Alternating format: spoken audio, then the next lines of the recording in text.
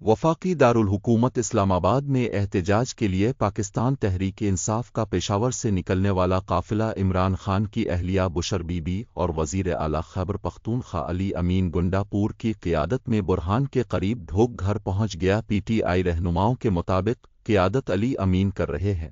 بشر be be کی گاڑی ان کے پیچھے اور دارالحکومت کو جانے والے زیادہ تر راستوں پر کنٹیرز کھڑے کر دیے گئے ہیں۔ چھبیس نمبر چانگی کنٹینر لگا کر مکمل سیل کر دی گئی ہے اور وہاں رینجرز کو تعینات کر دیا گیا ہے، ایکسپریس وے بھی کھنا پل کے۔ مقام پر دونوں طرف سے بند کر دی گئی۔ کھنا پل پر رکھے گئے ایک کنٹینر میں آگ بھڑک اٹھی تاہم اس کی وجہ معلوم نہ ہو سکی۔ ایئرپورٹ جانے والے راستے پر بھی کنٹینرز لگا دیے گئے ہیں۔